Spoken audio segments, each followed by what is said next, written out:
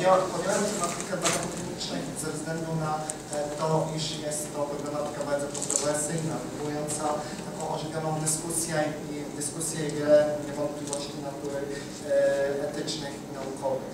Jednocześnie należy zwrócić uwagę na to, że te badania kliniczne są pewnym bardzo niezbędnym e, składnikiem postępu, który uwarunkowuje rozwój e, farmakologii medycyny. Konieczne jest zatem e, przynajmniej skrótowe wskazanie tych elementów e, szczególnie drażliwych. Tutaj przygotowując się do wykładu e, miałam pewien problem, jak podejść do tego wystąpienia. Otóż mogłem zaproponować i omówić jakieś zagadnienie szczegółowe, ewentualnie podjąć te zagadnienia, które są dla mnie szczególnie istotne, szczególnie takie właśnie wrażliwe. Ponieważ przyjąłem, że e, konferencyjny nie jest wykładem, a rola dyskusji jest bardzo duża, zdecydowałem się na ten wariant właśnie takiego skrótowego zasygnalizowania pewnych, e, pewnych e, tutaj e, szczególnie drażliwych e, aspektów. Niemniej jednak, aby przystąpić do tej refleksji na temat badań klinicznych, należy wskazać, czym one są. Tutaj mogę, pozwolę sobie odczytać, że przez badania kliniczne rozumiem każde badanie prowadzone z udziałem ludzi w celu odkrycia lub potwierdzenia klinicznych, farmakologicznych, w tym farmakodynamicznych skutków działania badanego produktu leczniczego lub w celu zidentyfikowania działa, działań niepożądanych produktu leczniczego lub śledzenia wchłaniania, dystrybucji, metabolizmu i wydalania badanego produktu leczniczego, które to działania mają na względzie jego bezpieczeństwo i skuteczność. Pewnym punktem wyjścia jest e, taka uwaga, że badania kliniczne wykazują pewien specyficzny status e, onkologiczny i epistemologiczny. E, W zestawieniu e, z pewnym modelem tradycyjnego leczenia można wskazać na szereg odrębności. Tak na przykład w tradycyjnym leczeniu pacjent jest po- podmiotem, któremu chce się pomóc. Jednostkowa choroba traktowana jest tutaj jako pewien punkt centralny, który ogniskuje e, działania lekarzy i personelu medycznego. Natomiast w przypadku badań klinicznych e, pojawia się pewne e, ryzyko przedefiniowania celu i roli pacjenta. Jak podaje Ayamini, e, jest to ryzyko polegające na tym, że osoba staje się przedmiotem, przez który lub w którym ma być zweryfikowany nieznany lub jeszcze mało poznany efekt określonego lekarstwa, szczepionki czy zabiegu. Tak więc e, w przypadku badań klinicznych ta choroba staje się pewnym środkiem do wzbogacenia wiedzy medycznej, a w dalszej perspektywie dopiero ma umożliwić pomoc określonym chorym. Inny jest również aspekt czasowy tej pomocy. Otóż w terapii działania są ukierunkowane na doraźną pomoc. W przypadku badań klinicznych bardziej jest istotny ten aspekt profiturowy. E, Jeżeli chodzi o e, badania kliniczne, to stanowią one pewien sekwencyjny proces składający się z wielu etapów, które pełnią pełną rolę umo- umożliwiających odpowiednio wczesną ocenę wpływu działania konkretnego leku na zdrowie. E, Sam proces badawczy jest niezwykle skomplikowany. E, Również poszczególne fazy, a tych faz jest, e, są dwie fazy, e, które również dzielą się na pewne pod- pewne podfazy, określić, charakteryzują się określonym stopniem zagrożenia dla zdrowia i życia danych osób. I tak w tej, w tej te- tradycyjnej typologii można powiedzieć, że ta faza pierwsza to jest ten etap laboratoryjny, w którym użytkujemy zwierzęta, ewentualnie e, tkanki. I tutaj to nie będzie przedmiotem mojego zainteresowania. E, W fazie drugiej, czyli w tej fazie e, badań na człowieku, występują tak naprawdę cztery fazy, które, różnicują różnią się jakby em, zakresem e, osób, które uczestniczą, czyli e, uzależnie e, w pierwszej fazie są to osoby zdrowe, następnie na przykład fazy też w fazie osoby chore i zwiększa się również udział osób, które w tych fazach biorą udział. Kolejną kwestią, którą chciałbym się zająć, to tak naprawdę próba znalezienia odpowiedzi, dlaczego powinniśmy się zajmować problematyką badań. Jak wskazałem, e, jest to zagadnienie bardzo złożone, interdyscyplinarne, które opisuje e, refleksje prawników, filozofów, lekarzy, psychologów, socjologów. E, Jednakże należy wskazać na to, że mm, ta refleksja w moim przekonaniu powinna być podejmowana również ze względu na pewne no, coś, co nazwałem sobie roboczo, na pewną skalę zjawiska. Otóż w przypadku innych zagadnień, powiedzmy z obszaru bioetyki, badania kliniczne charakteryzują się tym, że dotyczą tak naprawdę dużej liczby osób bezpośrednio w to zaangażowanych. Jak się ocenia, e, w Polsce rejestruje się około 450 e, badań e, klinicznych. W 2009 było to 469. E, Udział w tych badaniach, znaczy, jeżeli chodzi o udział w tych badaniach, to bierze udział przeważnie około 34 do 40 tysięcy uczestników, a więc jest to dość pokaźna grupa. Jednocześnie należy wskazać na to, że w przypadku Polski jest to e, grupa e, tak naprawdę nieduża. E, Polska nie jest jakimś takim wielkim rezultatem w zakresie badań klinicznych. O wiele, wiele więcej badań przeprowadza się na przykład w innych krajach Europy Zachodniej. Niemniej jednak, jak oceniają eksperci, ta liczba badań, liczba osób biorących w tych badaniach, ale również liczba ośrodków badawczych będzie się stale wzrastać ze względu na to, że e, po pierwsze będzie rosło zapotrzebowanie na badania kliniczne, ponieważ zwiększają się e, zachorowalność na pewne choroby, choroby cywilizacyjne, choroby krążenia. Po drugie, e, również e, należy wskazać na pewien ekonomiczny, e, ekonomiczny aspekt tychże badań. Otóż e, wpływy z tych badań to około 840 e, milionów złotych, jak się e, szacuje. E, W tym wpływy, poda, e, wpływy podatkowe szacuje się na około 240 milionów złotych. Są to zatem dość, dość e, wysokie e, kwoty uzyskiwane z badań klinicznych. I te czynniki mogą wpływać na to, że e, te liczba badań klinicznych e, będzie się zwiększać.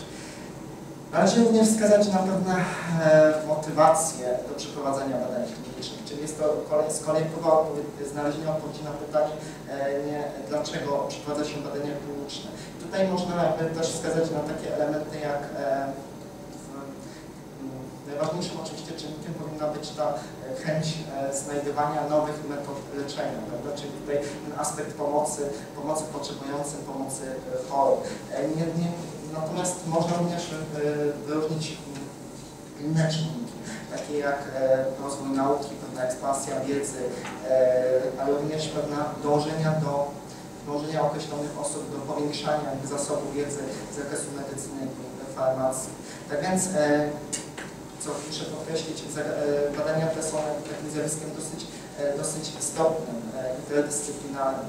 Również, również na tą interdyscyplinarność, na, to, na, to, na tą złożoność tej problematyki nakłada się pewien aspekt podmiotowy, czyli mm, fakt, że w badaniach klinicznych za- zaangażowane są różne grupy podmiotów. Należałoby tu wymienić oczywiście pacjentów, e, badaczy, lekarzy, sponsorów, ośrodki badawcze, e, administracje, czyli instytucje nadzorujące i komisje bioetyczne. Tak duża liczba podmiotów biorących udział w badaniach klinicznych sprawia, że różne są e, możliwości nadużyć, różne są również takie punkty zapalne, które wymagają pewnej refleksji etycznej i prawniczej. I tutaj decydując się na podjęcie głosu o ten czynnik udziału w badaniach klinicznych, należy e, moim zdaniem e, jakby dokonać takiej, e, takiego, takiego podziału na, e, na, e, na moment, w którym chory e, decyduje się na e, udział w badaniach klinicznych i ten, e, ten udział traktowany jest jako ultimaratio. Otóż chory bierze udział w badaniach klinicznych, gdy brak jest innych sprawdzonych już metod leczniczych, ewentualnie gdy wypróbowane metody nie przyniosły oczekiwanego rezultatu. Ewentualnie może zaistnieć druga okoliczność, kiedy udział e, w badaniach klinicznych może stanowić pewną formę alternatywną do występujących tradycyjnych metod leczenia, gdy pacjent nie ma zaufania do tychże metod. E, Tak więc udział w badaniach może być, e, może być ukierunkowany różną motywacją. Tutaj można by wskazać na pewno solidarność społeczną, na pewno również altruizm. Kolejną kwestią, którą chciałbym rozważyć jest problem ryzyka. Otóż niewątpliwie udział w badaniach klinicznych wiąże się z ryzykiem efektów ubocznych, pogorszeniem stanu zdrowia, a niekiedy nawet ze śmiercią. Jednakże e, osoby biorące udział w badaniach klinicznych decydują się na ten udział z bardzo różnych powodów. E, Czasami chcą przyczynić się do wprowadzenia e, nowych leków, które być może wpłyną pozytywnie na ich stan zdrowia. Nie... Przepraszam.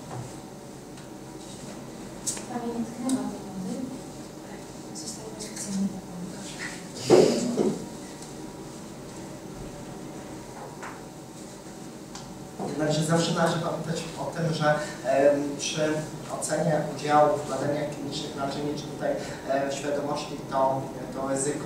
Jeżeli chodzi o to ryzyko, możliwe są różne wa- warianty tego, tego ryzyka.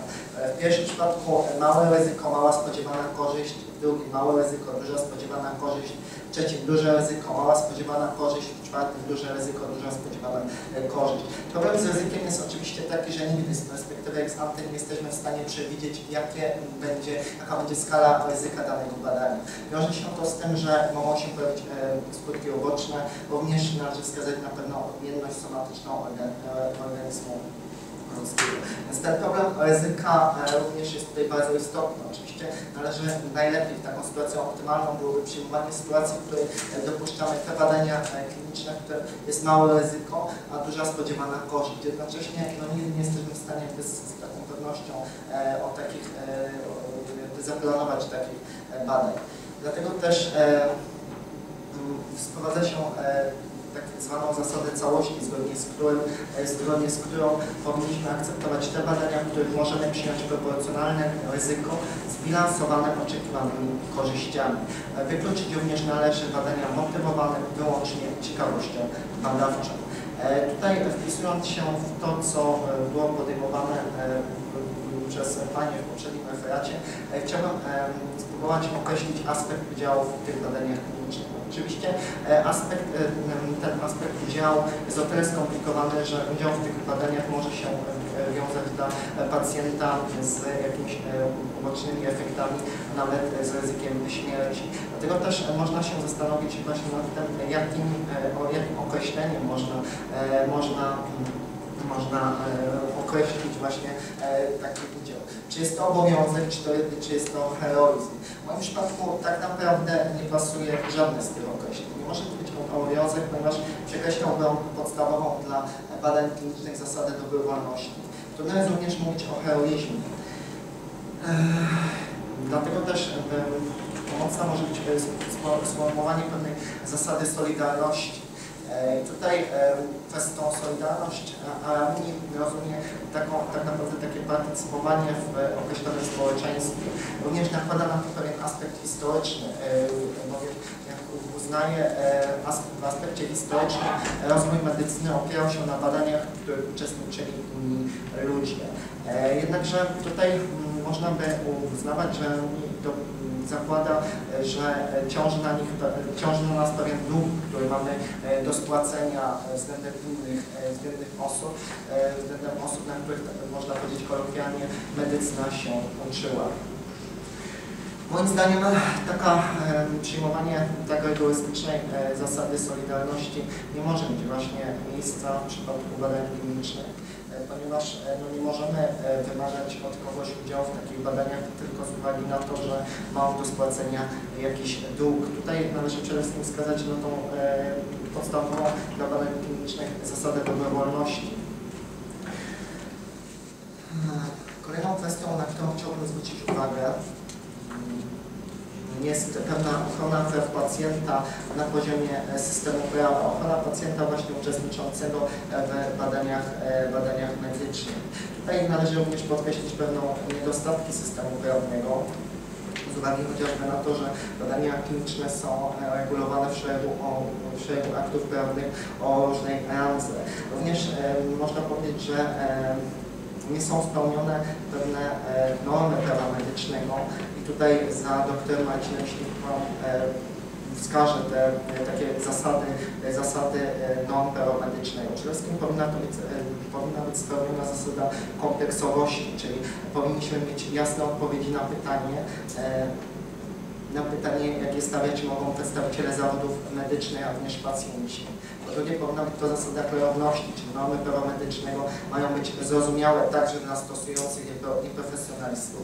Po trzecie, zasada jednoznaczności, która eliminuje podwójne standardy. Po czwarte, zasada koncyliacyjności, przynajmniej e, częściowe, która pozwala likwidować przynajmniej część sporów między pacjentami a przedstawicielami zawodów medycznych, e, która powinna być rozwiązywana na drogach alternatywnych wobec procesu sądowego rozwiązywania sporów.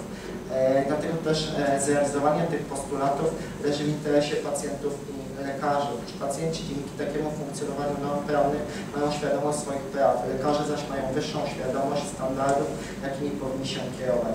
Zyskuje również porządek prawny, którego normy stają się jasne i precyzyjne. E, Dlatego tutaj pozwolę sobie na na takie skrótowe wskazanie pewnego niedostatku, legislacyjnego, by ukazać, że ta problematyka badań klinicznych, która tak wspomniałem, jest osadzona na wielu płaszczyznach refleksji etycznej, e, etycznej, e, prawniczej, społecznej, e, wykazuje wiele deficytów, e, takich niedokończonych jakby przemyśleń, e, wadliwych regulacji prawnych, e, które niewątpliwie powodują pewien, e, pewien dyskomfort, zarówno dla lekarzy, którzy przeprowadzają takie badania, ale również dla e, pacjentów. E, Dlatego również e, należałoby wprowadzić pewne standardy etyczne tychże badań. Tutaj e, oczywiście naczelną zostanie zasada dobrowolności, która jakby e, przełamuje wszelkie przypadki badań klinicznych prowadzonych wbrew woli podmiotów uczestniczących. Po drugie, dobro uczestnika takiego badania musi mieć znaczenie pierwszorzędne, czyli tutaj e, musimy kierować się pewnym, e, pewną ideą pomocy, a więc nie mogą to być badania, które mają jedynie w jakiś sposób wzbogacać wiedzę. Po trzecie, e, jest to kwestia tego ryzyka, o którym, wspomniałem, czyli odpowiednie e, zestawienie ryzyka i spodziewanej korzyści. Istotne jest również e, poszanowanie autonomii pacjenta. Z takich czynników e, ekonomiczno-prawnych również w grę wchodzi e, no niewątpliwe zabezpieczenie materialne, kwestia odpowiednio kształtowanej zasady, e, zasady e, odpowiedzialności cywilnoprawnej, ale również e, pewien zespół warunków nakładanych na, zarówno na prowadzących badania, jak i ośrodki badawcze, więc muszą to być podmioty wyspecjalizowane, dysponujące odpowiednią wiedzą.